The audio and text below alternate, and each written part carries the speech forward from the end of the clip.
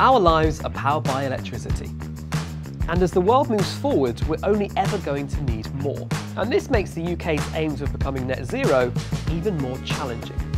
So how does all this energy get to our homes and businesses to help power our lives? Where does it come from? And what's being changed to make sure our energy supply is cleaner and greener? I'm James, and I'm on a journey with National Grid to find out just how our electricity transmission system From all the way out here by the sea to here in our sockets. So, come and join me as I venture behind the grid.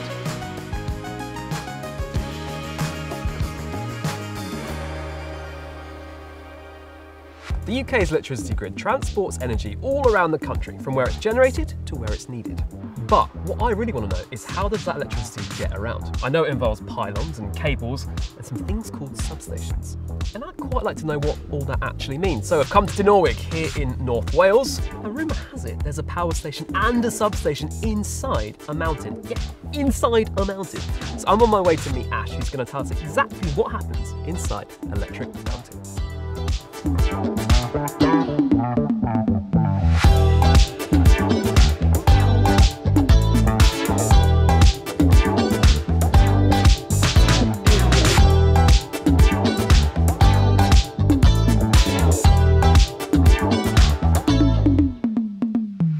Ash, thanks for having us here at Electric Mountain. What, what have we got? What are the different layers? What's above us? What's below us? Give me the geography, give me the map. Absolutely. So we're in a, a huge cavern uh, inside the mountain that was excavated in the early 80s. And the cavern's got a number of floors in it. Yeah. Uh, and actually, if there were no floors in the cavern, you could fit St. Paul's Cathedral inside. In here? In here, absolutely. How did they get, like literally with shovels and spades? Yep, yep. Hand dug removed. There'll have been some, um, you know, plant and equipment and machines and things. And how long did that take from when they started to making the tunnels? So it took 10 years to build Dinorwig altogether. At the bottom, we've got a turbine hall. Um, and then our substation is on a floor above. Right, I want to see some stuff.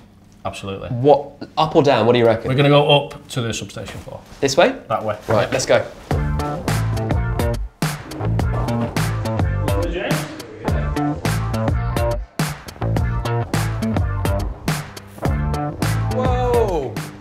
Like I'm on the Death Star, like Darth Vader's to come behind us. I don't know. Oh, this really is inside a mountain.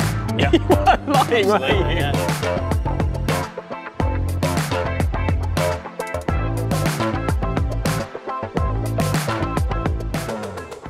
I'm starting to see why they call it Electric Mountain now. Yeah. What's actually happening in here as we speak? So in here right now, this is our 400 kV substation. So this is gas insulated switchgear that was uh, installed in the early 1980s. Back to very basics, forgive me. A substation. What is a substation? So this substation is here to connect uh, the electric mountain, so Dinorwig power station. So basically we take electricity from the power station and we connect it to the national grid, grid network at this substation here. And how much power is going through this place at the moment? Dinorwig works is a battery basically. So this is a giant battery. Yeah, How does that yeah. work? So, um, Electric Mountain has a, a lake at the top and a lake at the bottom. um, and literally, the lake at the top acts like a battery. So, we, we the power station pump water up into that lake, um, and that is potential energy. So, that water is stored at the top. Um, and then, when we need it, they open valves, they run that water through a turbine um, and ge- to generate electricity. And how many homes, at, you know, at its peak capacity could this place power? It's hundreds of thousands of homes. Dinorwig can be supplying, you know, at, at times sort of 5% of the electricity for the whole of the UK. The whole of the UK? The Whole of the UK. From the mountain? From the mountain. You'd hope Yeah, so yeah. from a mountain, Yeah. wouldn't you? So Ash, how many substations like this are there in the UK?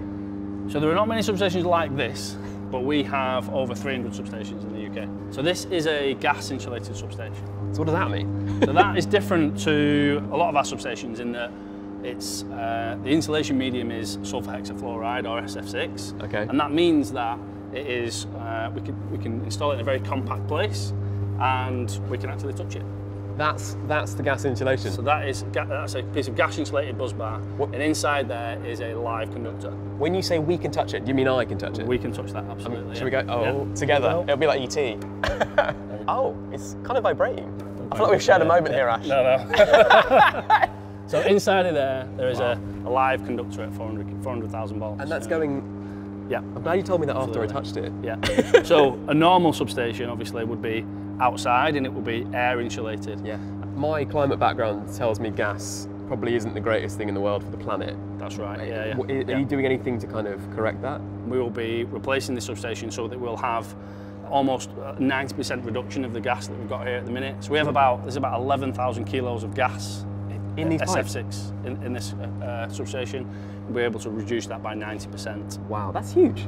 Absolutely massive. Yeah, yeah. And how many people are you looking after this place? On a normal day, we'll have only one or two people here. Uh, but when we've got maintenance works or if we've got um, you know uh, fault repair work, say we can we can peak at you know 20 or 30 members of staff. It's real engineering work, and this equipment you know was is 40 years old. You know, so we've Yeah. we've got um, uh, we had to call in specialists. You know, people who um, were here when the when the substation was built, um, and we've got equipment and tools that you know we've had to maintain and keep literally from from the day this place was was built. Uh, tools that we might not have used for 20 years. Wow. So you mentioned the mountain renovation, Yep. which I'm sure is not a small task, Ash. Is this the bit that's being replaced? So we'll be replacing the whole substation, Okay. but we can't switch it all off at once. So we have to do it in stages. So this is going to be the first stage that we replace. And how do you get this out of a mountain? Section by section, this will be taken out, um, lowered down uh, on the lift on the crane that's above us, uh, and taken out, and the new equipment will be brought in. I thought it was hard work renovating my house. Yeah, how yeah. are you going to do that? Absolutely, it's a real logistics challenge, absolutely, and, and especially because the rest of the substation is going to be live. I was going to ask that. So can, will it still produce power even though you're getting rid of this bit? This bit will be dead and disconnected, but the good thing about our network is that it's really resilient. So we, we, we design in lots of redundancy. Um, and that redundancy helps us to do this where we can take parts of it off, switch it off, work on it safely, and have the live bits of the substation still buzzing away over there. This is where you come and reflect on all the amazing work you've done. Absolutely, yeah, you can see the whole substation up here. It's quite some view, isn't it? Yeah, it's, it's a great view. Yeah. Does, does that ever get old? No, doesn't get old at all, no. And you know, we talked a little bit about what you guys are doing here to bring this up to 21st century standards, but Yeah. in terms of the Great Grid upgrade, how important is a site like this for what you're trying to do? sites like this and sites uh, you know across the country are really really important we've got a huge amount of uh, offshore wind about to connect you know in the, across the next 10 years um, batteries other novel types of generation so you know upgrading our network upgrading our overhead lines and cables to take all that new infrastructure is really really important Yeah, because that transition to net zero sometimes can feel like a really far away thing. Yeah Are you confident that we can get there? Absolutely, absolutely. So, in, you know, we've made huge strides over the last 10 years. Our power system is the fastest decarbonising power system uh, in Europe. There's a long way to go, but we've made, you know, huge strides over the last few years. And to you personally, Ash, I mean, you know, is that something that's close to your heart? Upgrading the network, connecting that new generation is is really important to not only decarbonise the power system, but also to make our, to make it much more secure. Uh, and much more much more reliable, and, and you know reduce uh, re- reduce costs for, for, for, the- for the consumer. And it's particularly important for the, the next generation as well, isn't it? Because, It you know, for kids and Absolutely. they're the kind of at the, the centre of this, aren't they, really? I think it's the next 10 years, you know, a, a vast amount of uh, our current workforce retires. So it's really important that we inspire children to get into STEM subjects Yeah. uh, and, and to, you know, follow those subjects through and come into our apprenticeship programs, our engineering programs. Yeah. Those schemes are open at the minute for, uh, for recruitment. Um, we bring you in, you, we take you to our training centre, we put you up in a in lovely warm accommodation, we feed you, and we train you and teach you to come and look after this. You didn't give me that same luxury. How many people do you need to hire to, to keep that transition going to net zero? Is Yeah. there a number of people that we need? It's vast amounts of engineers. I mean, I don't think we could probably put a number on it, but it's, it's just really important that the next generation are inspired to, to come into engineering. Jobs here, there are engineers, but I guess you need people that aren't, you know, it's not just engineers, is it? National Grid is a, is a really diverse workforce, and you know we have we have lawyers, we have ecologists, we have people who specialise in flooding, we have people who um, specialise in recruitment, in Marketing, HR, social marketing, media. social media, absolutely. So it's yeah, it's it's a great place, and you can come in as en- come in as an engineer uh, and leave as an accountant. You know, it's, it's, a, it's a great place. Maybe that's what happened to me. Maybe I'll have a different Yeah. job when I go home at the end of this. Absolutely. And then for you personally, what do you love about this so much? So there's a saying at National Grid, people generally come for net zero, yeah, but they stay for the people. It's a great team. Everyone looks out for each other, and we're all really, really passionate about what we do and achieving net zero. Are you hopeful for our transition to a greener future? Absolutely. I, I wouldn't be here if I wasn't. So we are now in the cable tunnels, James. Wow. So next to us here is a live 400 kV oil-filled cable. That's live. This is live. Right, yeah, on we go. That's right. Oh my gosh. So what's how much power is going through these right now? So, so the, e- each of these uh, cable circuits, and there's, there's two of them currently, can take full output of the, of the generator. Yeah, It's there. absolutely. Yeah. Look how And close can- you are to it. And you can touch this as well. No, So, don't do it. Oh god. I'm not doing that. I'll trust you. oh my gosh, that's amazing. So you're responsible for a lot of people, Ash, on site here. how, how does that feel? It's, it's, a, it's a huge responsibility. Um, not only for them and, and, and their safety, but also for the, you know, the, the amount of the transmission system that we've got to look after and uh, keep safe and keep in service. Okay, so at this point here, this is where uh, the two cable circuits meet. They come together. So we've been in the number two tunnel, and this is the number one tunnel here where the, where the cables, cables come round. Um, so yeah, they're both, both buried in concrete here with a, with a concrete plinth separating them. I cannot get this out of my mind. This is all hand built. Yeah, it's all hand built, Everything. yeah, Someone actually dug this. You can actually see um, on the wall there, you can see the drill marks. You can see, see, the, see the lines where that would have been a drill bit as though they've been excavating this face. It just blows my. I cannot get over that. Amazing, isn't it? Yeah.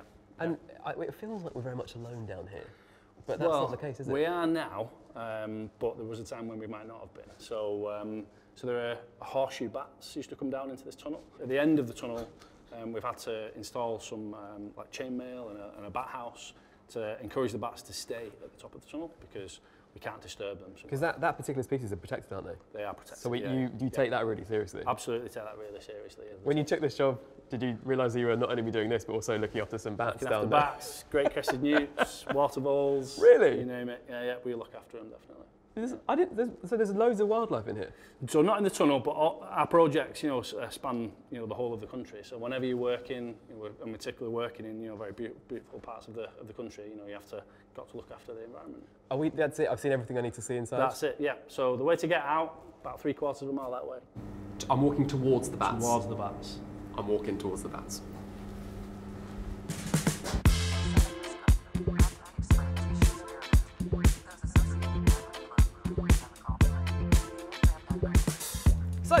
There you go. Substations or electricity from power generators, so things like turbines or solar panels or even electric mountains, is converted and routed into overhead lines and underground cables, where it's sent all across the country and distribution networks bring it into our homes and businesses. And I've just found out there's over 22,000 pylons and over 4,500 miles of overhead lines that help do this on the transmission system. That's a lot of infrastructure to keep tabs on. So I want to find out a little bit more about how that's maintained and looked after. Onwards.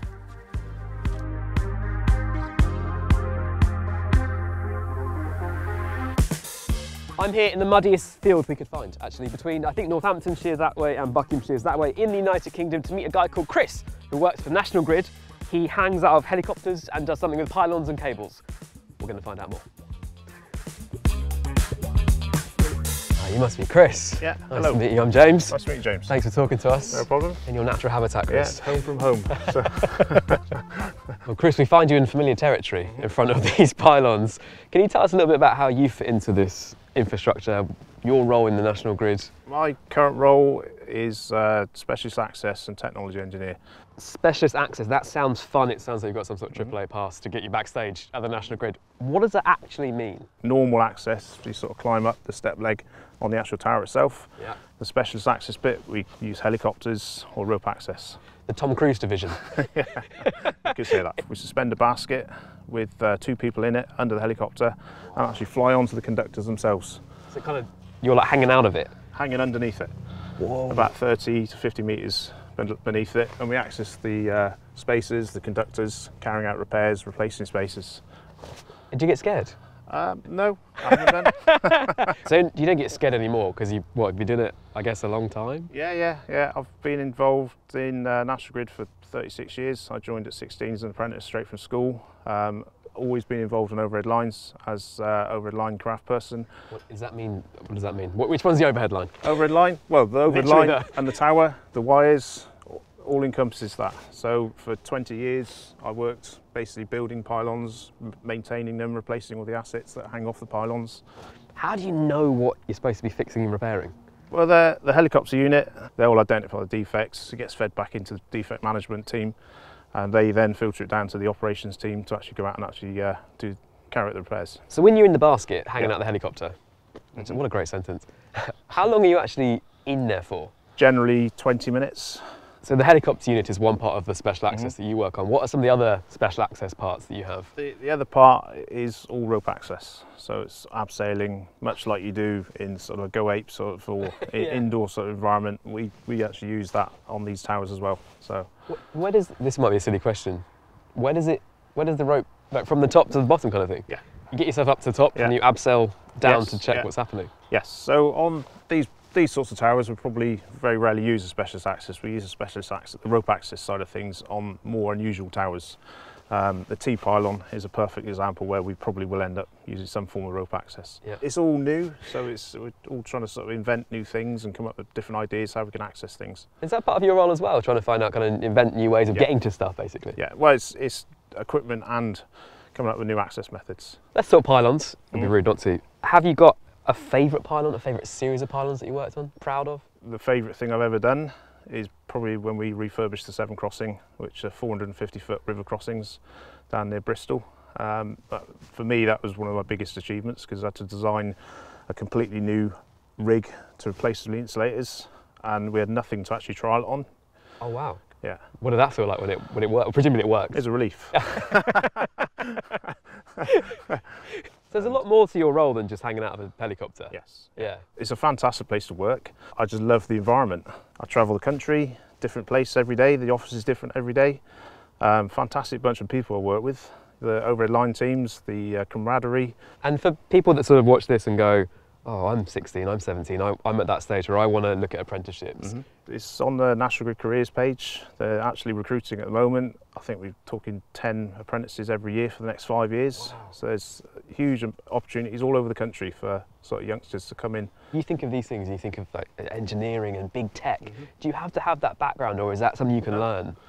It's all taught during the apprenticeship. So that you're brought as a 16, 17 year old and you're taught everything you need to know during the apprenticeship and you come away with your qualifications at the end of it as well. Tell me, Chris, about the Great Grid upgrade and particularly the role of net zero and how important that is. It's really all about um, creating more capacity on the network. I think there's something around 50, 50 gigawatts of extra power that's going to be um, required to be flowed down through the uh, national grid over the next 20 years, I think. So, Of, of renewable energy. yes, So how long is that going to take? Are we talking sort of short term, long term?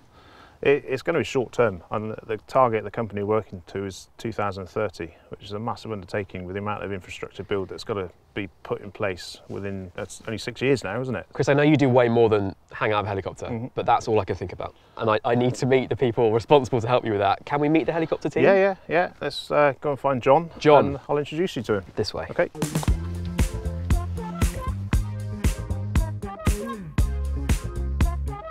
Right, Chris, got someone else for me now. Yeah, this is uh, John Rigby, our uh, chief pilot. John. John, nice to meet you, Uh, mate. James. How you doing? to Hi, see you. James. Nice to Nice see to you. Will. Thank you so Okay, much no for earlier. Lovely to see you. No, no From the man that he hangs out of these. Yeah, that's right. Yeah. More of that. See you You don't normally see each other in the same plane, do you? that's I was going to ask you what you do, but there's a, a fairly large clue behind us. Yeah, so, um, so I'm the chief pilot of the National Grid Transmission Helicopter Unit, and Doug is uh, one of the observers in the back. So Oh, this yeah. is a Bell Doug, how 429 helicopter, and we've got two of these, and they're the kind of primary workhorse um, to generate lots of imagery of towers, and we feed that to the condition monitoring team, who then look at when do things need refurbishing, what is a high priority defect, what can be left and refurbished at a later date. So your job is to sort of fly around and make sure all the pylons are as they should be. Uh, yeah, I think it's it's really a, a very comprehensive health check, um, very up close and personal with the pylons in the in the hover a lot of the time. How close are we talking? Like, well, yeah, no, our minimum is about 50 feet. oh, But um, this this camera here on, on the front, this Oh, is yeah, uh, yeah, a sort of military grade camera, wow. and it'll do thermal mode. It's got a very uh, capable zoom lens, so you can get some very high resolution pictures. A lot of Uh, buttons, John. ma- I'm assuming you know what all these do. Basically, flight displays here, engine displays there, mapping displays there, a little bit more buttons, autopilot. But it's a fully um, instrument uh, rated machine as well, so we can fly in cloud to get to, uh, to places. So that's quite handy sometimes. It's a very modern helicopter, so that's, that's a nice thing. It's got some really interesting uh, latest avionics, really good autopilot. So we can, that's good. It's very comfortable. It's very vibration free. It's an excellent platform for what we do. Very stable. Yeah. Uh, it's quite good in the wind as well. Um, wind does tend to affect us quite a bit, and this is a nice, stable uh, platform. So it, it's it's a joy to fly. Really, we're, we're very lucky to, to have these machines. Yeah, Can we go up? absolutely. We're, we're ready to go. We're fully fueled. Oh, you're waiting for me. the weather's fine. Yeah. It does, the sun's just come out. At Western Grid 01 requesting start hangar 7. Uh, we're 5 POB and for a easterly departure.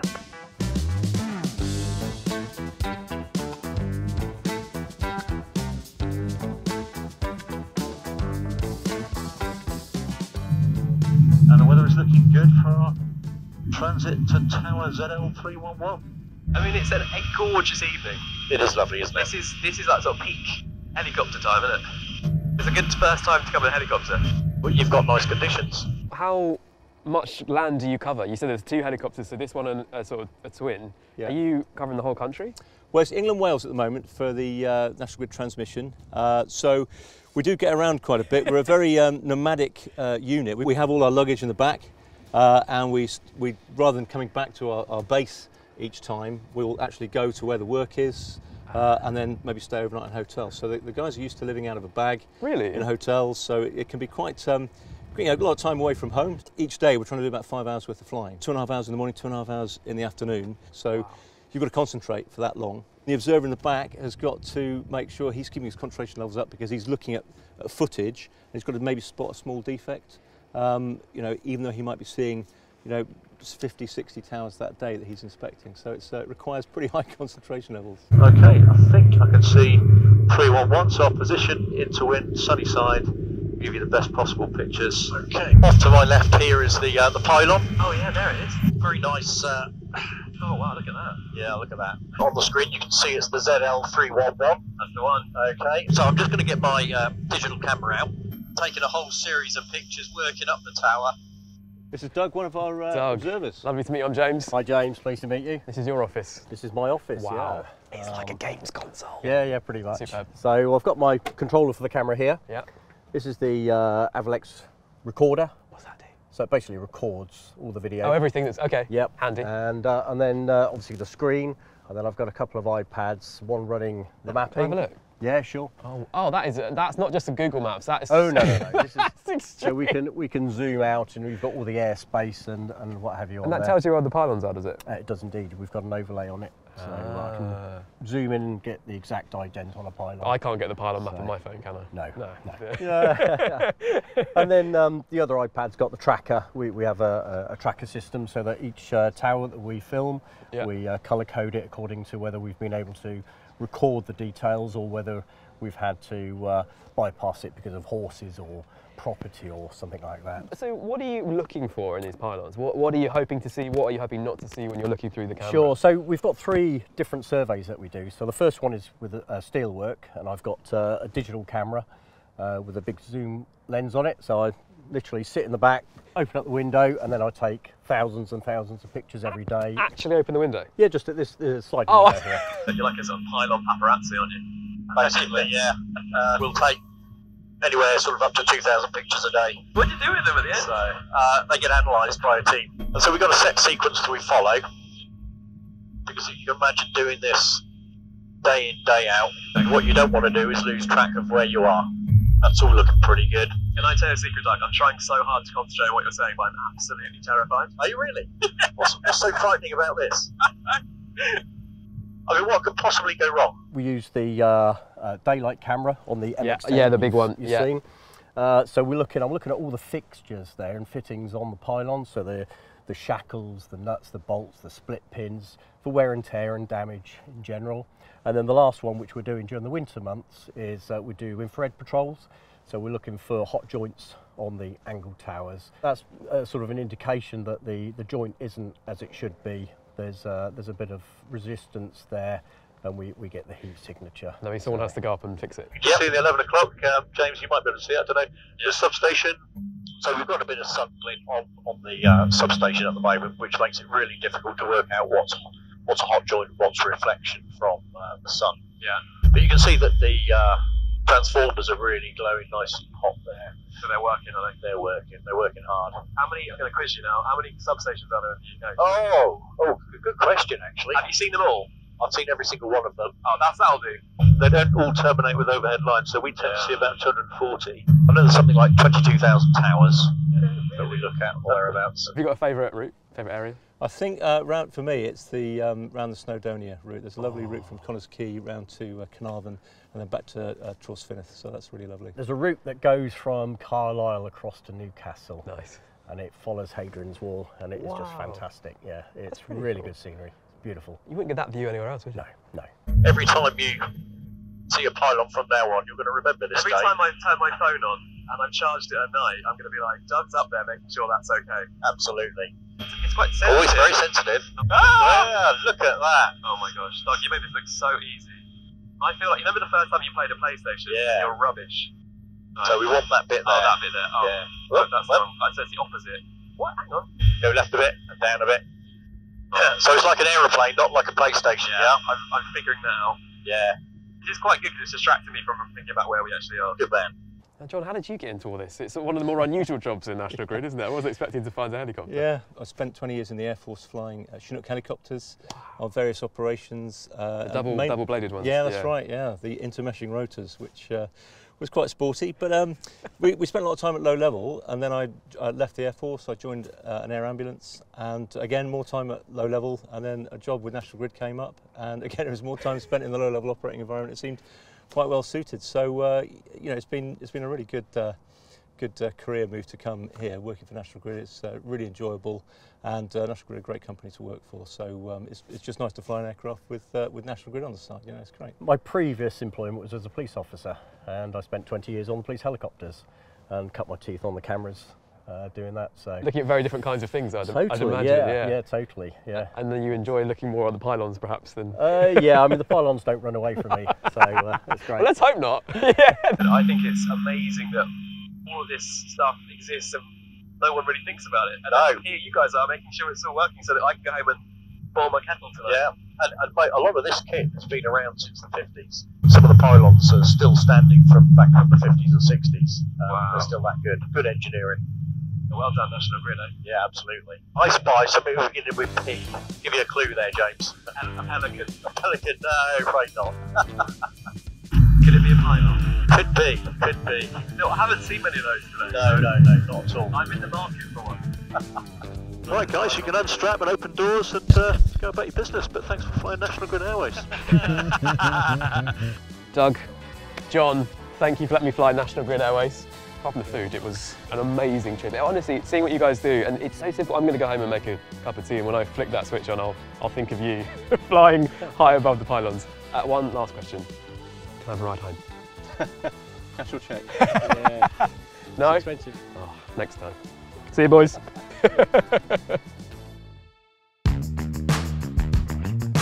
High voltage electricity is moving through these overhead lines and underground cables, and they sort of shuttle between substations, which are dotted across the whole country. It's an incredible operation, and one that requires constant monitoring, maintenance, upgrading, and much more. But there is another element to our electricity grid, because the electricity flowing through these overhead lines and underground cables is at a really high voltage. And well, you need to convert that, otherwise your kettle will blow up and your TV would short circuit. So the real question is, does it get from here to our sockets? But first, I need a compass.